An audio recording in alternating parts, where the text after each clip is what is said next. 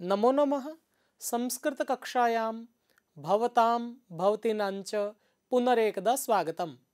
अहम् अस्मि अशोककुमारः।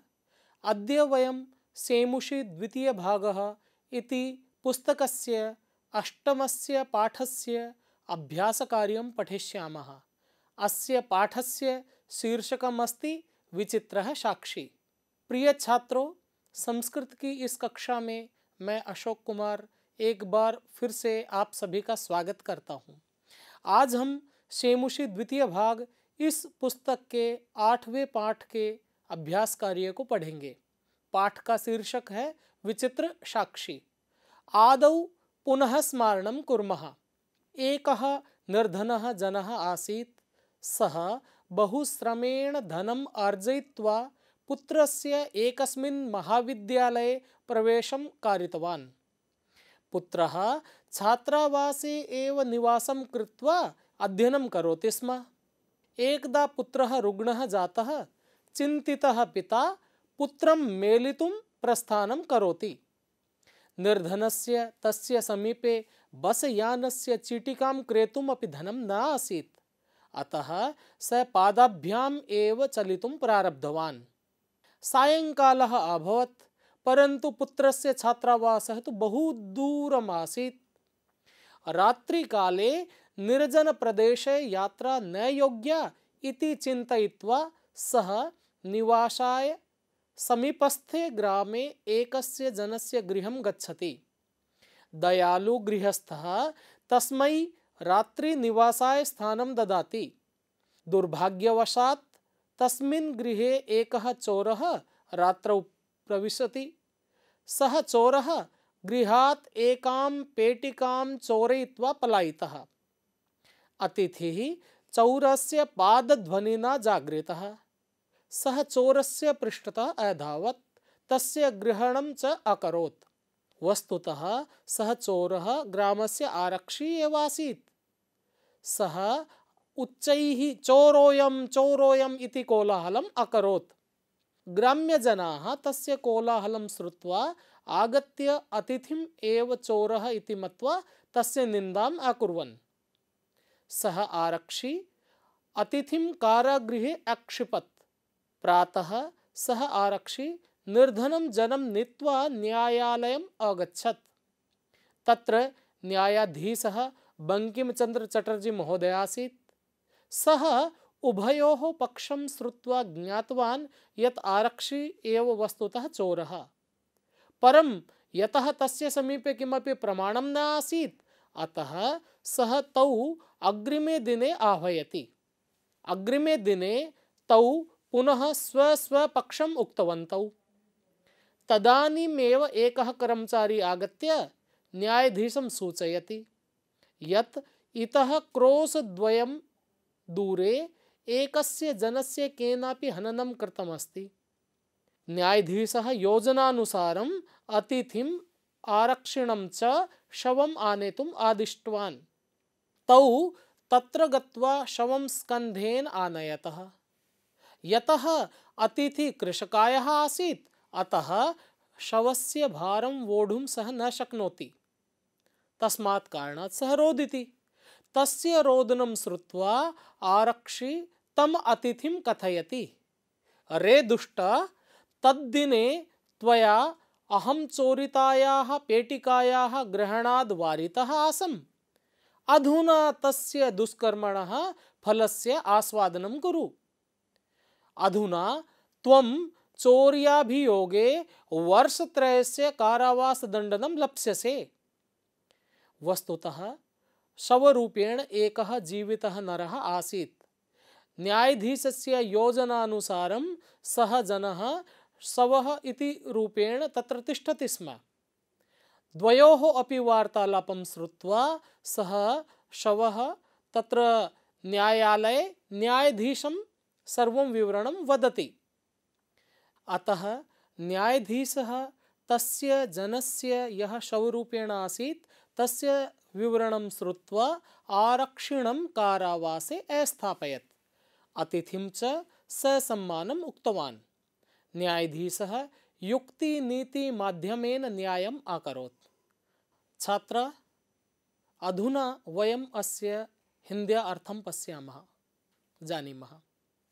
बच्चों, एक बार एक निर्धन व्यक्ति था।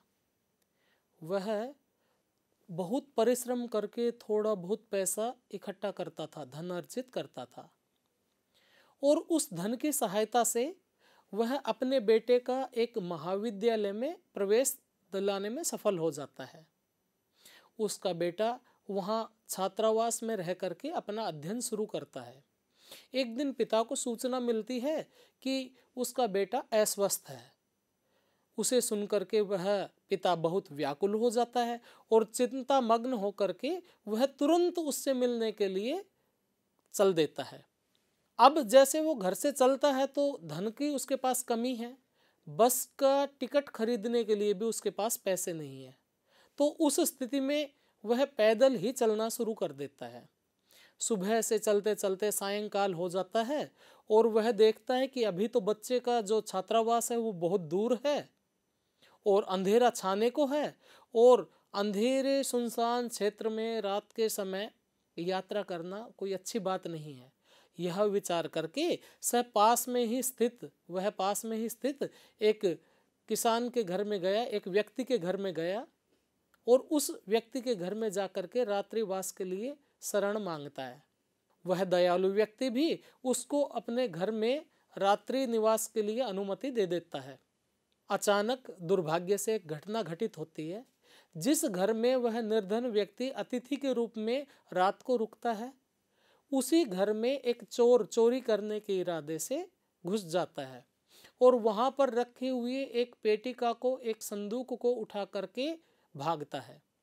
अतिथि चोर के पैरों की आवाज़ को सुन करके उसकी नींद खुल जाती है अतिथि की और वह चोर इस शंका के साथ उसके पीछे पीछे दौड़ता है और उसको पकड़ लेता है। तभी अचानक से वह चोर ही उल्टा अतिथि को देख करके ही, यह चोर है, यह चोर है, इस तरह से ज़ोर ज़ोर से चिल्लाना शुरू कर देता है। उस चोर की आवाज़ को सुन करके गाँव के लोग उठ जाते हैं और वहाँ आ करके अतिथि को ही चोर मान लेते हैं और उसकी बहुत निंदा करते हैं। इसके बाद में वास्तव में वो जो चोर था, वह गाँव का ही कोतवाल था। तो वह कोतवाल उसी समय उस अतिथि को ले जा करके कारावास में डाल देता है। सुबह वह आरक्षी उस अतिथि को लेकर के, उस अभियुक्त को लेकर के, बच्चों, जिस पर मुकदमा दर्ज हो जाता है, उसको हम अभियुक्त कहते हैं। तो उस अभियुक्त को लेकर के वह न्यायालय में जाता है।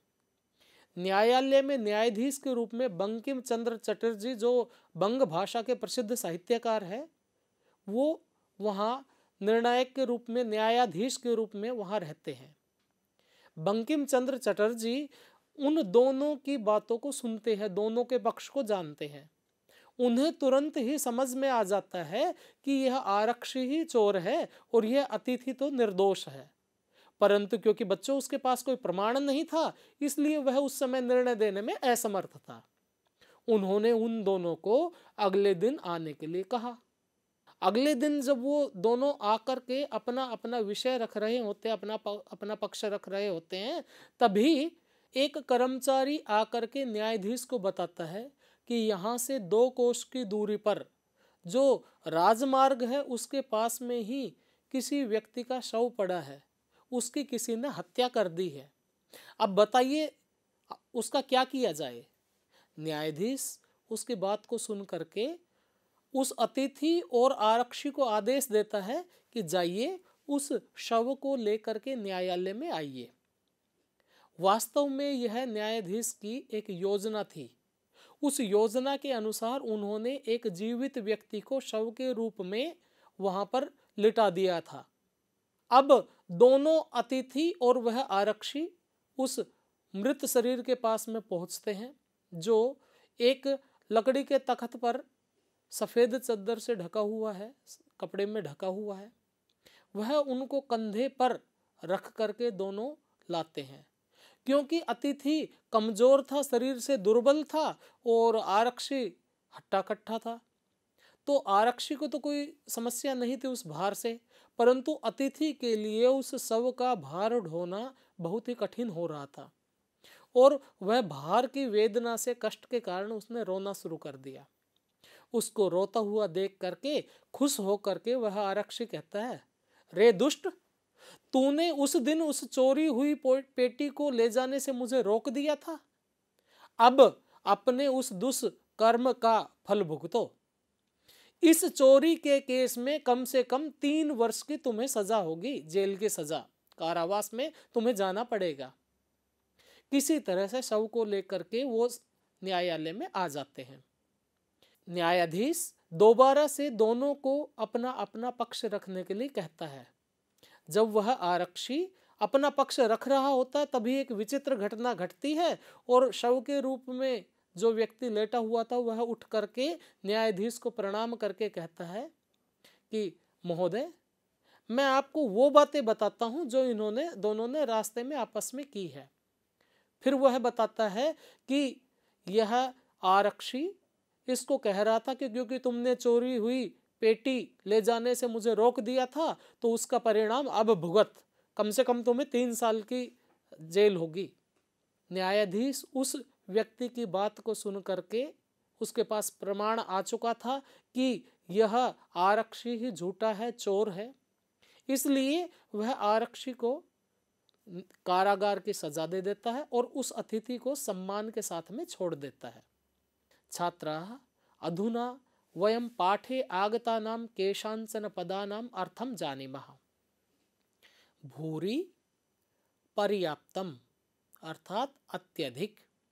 उपार्जितवान, अर्जितवान, कमाया।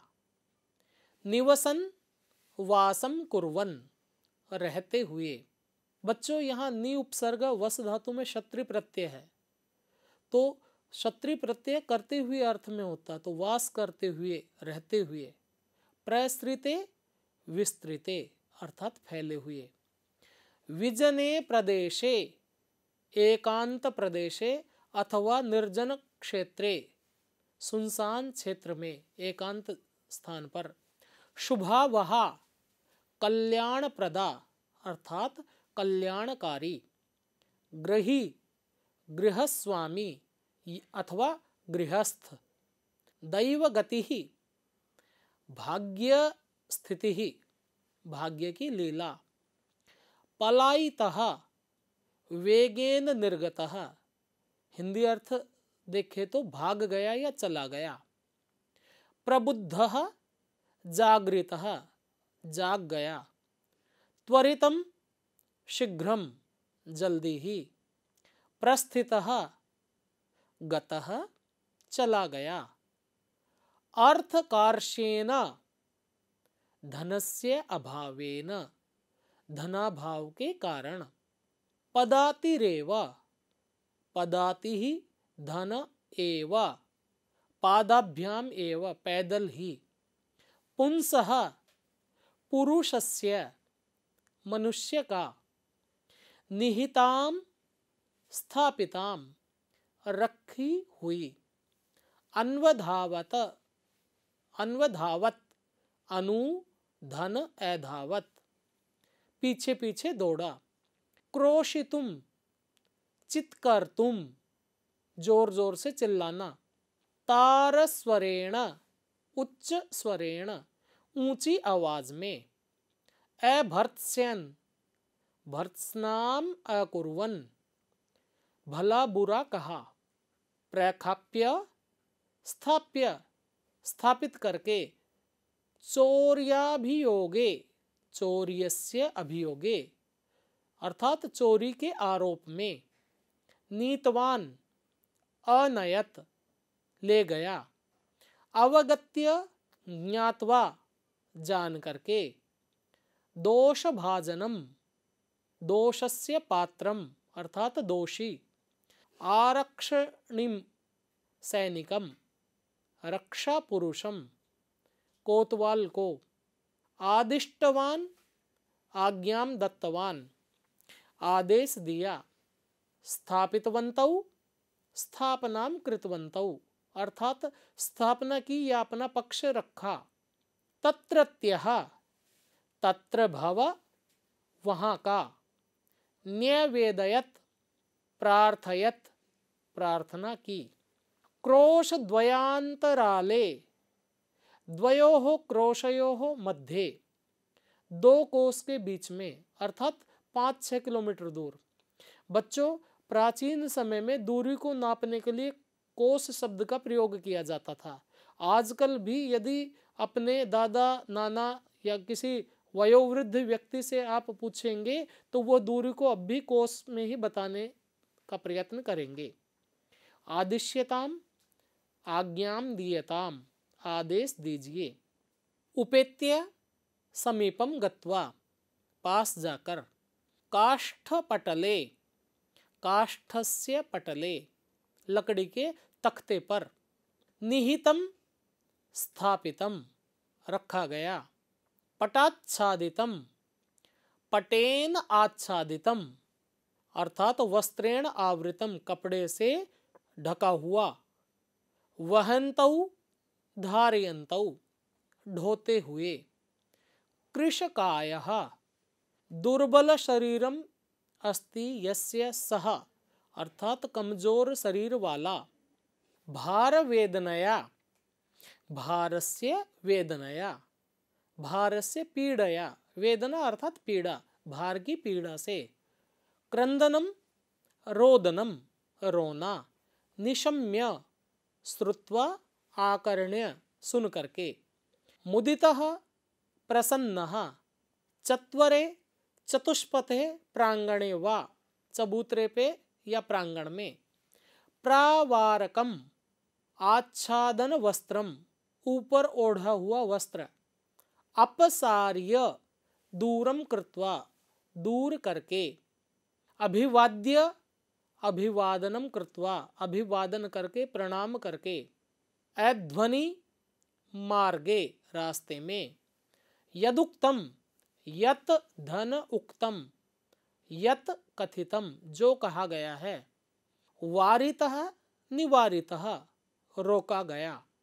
मुक्तवान ऐत्यजत छोड़ दिया। समालंब्य, आश्रय गृहीत्वा। आश्रय लेकर के। लीलयैव, लीलया एव, सुगमतया सरलतया, अर्थात खेल खेल में आदिश्य आदेशम कृत्वा आदेश दे करके छात्राः, अधुना अस्य पाठस्य अभ्यासकार्यं पश्यामः। प्रथमः प्रश्नः अस्ति, एकपदेन उत्तरं लिखता। वयं जानीमः, यत् एकपदेन इत्यस्य अर्थः अस्ति, एकेन एव पदेन। अर्थात, एक पद का उत्तर बच्चों, एक शब्द में ही उत्तर देना होता है। कई बार परिस्थिति ऐसी हो जाती है कि एक पद में उत्तर देना संभव नहीं होता तो उस परिस्थिति में अधिकाधिक दो शब्दों का प्रयोग कीजिए, परंतु इस प्रश्न का उत्तर पूरे वाक्य में मत लिखिए। अधुना प्रश्नान पश्याम। कीदृशे प्रदेशे पदयात्रा न सुखावहा विजने। अतिथि केन प्रबुद्ध? पादध्वनिना। कृषकाय कह आसीत्? अभियुक्त अतिथि। वस्तुतः अतिथि अभियुक्त निर्धन जन सह समान जन है वासित एक व्यक्ति एक ही था, उसी को ही अभियुक्त कह रहे हैं हम, उसी को ही अतिथि कह रहे हैं, उसी को ही निर्धन व्यक्ति कह रहे हैं। तो तीनों ही उत्तर हो सकते हैं। न्यायाधीश कस्मयी कारागार दंडम आदिष्टवान। आरक्षिणे। कम निकषा मृत शरीरम आसीत। राजमार्गम। अधुना द्वितीय प्रश्न पश्यामः। छात्रः, अस्य प्रश्नस्य उत्तरं पूर्णवाक्येन लेखनीयं भवति। पूर्णवाक्येन, अर्थात पूर्णवाक्येन, केवलम् एकेन वाक्येन उत्तरं न। यदि कदाचित् वाक्यानि द्वयं, त्रयम् अथवा चत्वारि वाक्यानि अपि भवन्ति, तर्हि तानि सर्वाणि लेखनीयानि। क भाग। निर्धन जन कथम वित्तम उपार्जितवान? निर्धन जन भूरी परिश्रम्य वित्तम उपार्जितवान। जन किमर्थम पदाति गच्छति? अर्थकार्षेण पीड़ितः जन पदाति गच्छति। प्रसृते निशांधकारे सह किम अचिंतयत प्रसृते निशांधकारे सह विजने प्रदेशे पदयात्रा न शुभवः इति अचिंतयत वस्तुतः चौरः कः आसीत्? वस्तुतः चौरः आरक्षी एव आसीत्। जनस्य क्रन्दनं निशम्य आरक्षी किम् उक्तवान्? जनस्य क्रन्दनं निशम्य आरक्षी उक्तवान्। रे दुष्ट तस्मिन् दिने त्वया अहं चोरितायाः मञ्जूषायाः ग्रहणाद् वारितः इदानीं निजकृत्यस्य फलं भुक्ष्व। अस्मिन् चौर्याभियोगे त्वं वर्षत्रयस्य कारावासदण्डं लप्स्यसे इति। मतिवैभवशालिनः दुष्कराणि कार्याणि कथं साधयन्ति? मतिवैभवशालिनः दुष्कराणि कार्याणि नीतिं, युक्तिं समावलम्ब्य लीलया एव साधयन्ति। छात्राः अधुना तृतीयं प्रश्नं पठामः। अस्मिन् प्रश्ने रेखांकितं पदम अधिकृत्य अस्माभिः प्रश्न निर्माणम करणीयम भवति। बच्चों, इस तीसरे प्रश्न में जिस शब्द को रेखांकित किया जाता है, उस शब्द के आधार पर प्रश्नों की रचना की जाती है। प्रथमम पश्यामः। पुत्रम द्रष्टुम सह प्रस्थितः। कम द्रष्टुम सह प्रस्थितः। करुणापरो गृही तस्मै आश्रयं प्रायच्छत्। करुणापरो गृही कस्मै आश्रयं प्रायच्छत्। चोरस्य पादध्वनिना अतिथिः प्रबुद्धः। कस्य पादध्वनिना अतिथि प्रबुद्धः न्यायाधीशः बङ्किमचन्द्रः आसीत्। न्यायाधीशः कः आसीत्? सः भारवेदनया क्रन्दति स्म। सः किमर्थं क्रन्दति स्म अथवा कया क्रन्दति स्म? उभौ शवं चत्वरे स्थापितवन्तौ। उभौ शवं कुत्र स्थापितवन्तौ? छात्राः प्रश्ननिर्माणं कुरुत प्रश्ने यदि वयं रेखाङ्कित पदस्य स्थाने समीचीनम् उत्तरं लिखित्वा वाक्यं पूर्णं कुर्मः, अन्ते च प्रश्नवाचकचिह्नं स्थापयामः, तदानीम् एव अस्माकम् उत्तरं पूर्णतां गच्छति। अधुना अग्रिमः प्रश्नः। यथा निर्देशम उत्तरता। बच्चों, इसमें जैसा निर्देश दिया जाता है, उसके अनुसार हमें उत्तर देना होता है। क आदेशम प्राप्य उभौ अचलताम अत्र किम कर्तृपदम? उभौ। बच्चों, पद शब्द तब कहलाता है जब कोई शब्द वाक्य में प्रयुक्त हो। तो कर्तृपदम यानी कि कर्ता, क्रियापदम अर्थात क्रिया। इसमें हमें किसी तरह का मन में संदेह नहीं रखना। ख। एतेन आरक्षिणा अध्वनि यदुक्तम तत्वर्णयामि। अत्र मार्गे इत्यर्थे किम पदम प्रयुक्तम? अध्वनि। करुणापरो गृही तस्मै आश्रयं प्रायच्छत्। अत्र तस्मै इति सर्वनाम पदम कस्मै प्रयुक्तम्? अतिथये। ततो असौ तौ अग्रिमे दिने उपस्थातुम् आदिष्टवान्। अस्मिन् वाक्ये किं क्रियापदम्? आदिष्टवान्। वस्तुतः छात्र, अत्र किञ्चित् विवरणं करणीयमस्ति। अत्र आदिष्टवान क्रियायाः अर्थे विशेषणम् अस्ति क्रियापदं नास्ति। दुष्कराण्यपि कर्माणि मतिवैभवशालिनः। अत्र विशेष्य पदं किम् कर्माणि। अधुना संधिं संधिं विच्छेदं च कुर्मः। पदातिरेव। पदातिः धन एव। निशान्धकारे निशा धन अंधकारे। अभ्यागतम। अभी धन आगतम। अभ्यागतम। भोजन धन अन्ते भोजनान्ते। चौरोयम। चौर धन अयम। गृह धन अभ्यंतरे गृहाभ्यंतरे लीलयैव। लीलया धन एव। यदुक्तम, यत धन उक्तम। प्रबुद्ध धन अतिथि। प्रबुद्धोतिथि अधुना अग्रिमं प्रश्नं पठामः। अधोलिखितानि पदानि भिन्न भिन्न प्रत्यांतानि सन्ति। तानि पृथक पृथक कृत्वा निर्दिष्टानां प्रत्यानाम अधः लिखता। बच्चों, यहाँ कुछ शब्द दिए हुए हैं जिनमें अलग अलग प्रत्यय दिए हुए हैं। उनको हमें छाट करके अलग बताना है। तो हम देखते हैं कि कौन से प्रत्यय कहाँ पर है। ल्यप प्रत्यय, परिश्रम्य, विहाय, आदाय समागत्य। अत्र सर्वेषु शब्देषु ल्यप प्रत्ययः अस्ति। यदि वयं सावधानतया पश्यामः, तर्हि सर्वेषाम् अन्ते य इति अस्ति। कारणं ल्यप प्रत्यये यः अवशिष्टः भवति। पुनः इतोपि एकम्, एतस्य पृष्ठतः कारणमस्ति। अत्र सर्वत्र अपि उपसर्गः अस्ति। यत्र उपसर्गः भवति धातुतः पूर्वं, तदा ल्यप प्रत्ययस्य प्रयोगः भवति। यत्र उपसर्गः न भवति, तत्र त्वा प्रत्ययः आगच्छति। परिश्रम्य, विहाय, आदाय, समागत्य।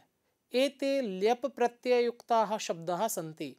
प्रस्थितः, प्रविष्टः, नियुक्तः, मुदितः। अत्र सर्वेषु शब्देषु त प्रत्ययः अस्ति। उपार्जितवान्, पृष्टवान्, नीतवान्, आदिष्टवान्, अत्र तवतु प्रत्ययः अस्ति। दापयितुं, द्रष्टुं, क्रोशितुं निर्णेतुम् अत्र तुमुन् प्रत्ययः अस्ति। अधुना वयं वाक्यानि यानि दत्तानि तानि बहुवचने परिवर्तयामः। ते बसयानं, बसयानानि विहाय पदातयः एव गन्तुं निश्चयं कृतवन्तः। चोराः ग्रामे नियुक्ताः राजपुरुषः आसन् अथवा चौराः ग्रामेषु नियुक्ताः राजपुरुषः आसन्। केचन चोराः गृहाभ्यन्तरं प्रविष्टाः। अन्येद्युः ते न्यायालये स्वस्वपक्षं स्थापितवन्तः। अधुना कोष्ठकेषु, दत्तेषु पदेषु वयं विभक्तिं प्रयुज्य रिक्तस्थानानि पूरयामः। गृह शब्द पंचमी, गृहात् अतिथि शब्द चतुर्थी अतिथये। न्यायाधिकारिन् शब्दे द्वितीया, न्यायाधिकारिणम्। इदम शब्दे सप्तमी, अस्मिन्। पादध्वनि शब्दे तृतीया, पादध्वनिना। छात्राः, अधुना अस्य पाठस्य अभ्यासकार्यं समाप्तम् एतादृशम् एव नूतनं ज्ञानवर्धकं पाठं स्वीकृत्य पुनः आगमिष्यामि। भवेत् तावत् सुखं मङ्गलं धन्यवादः।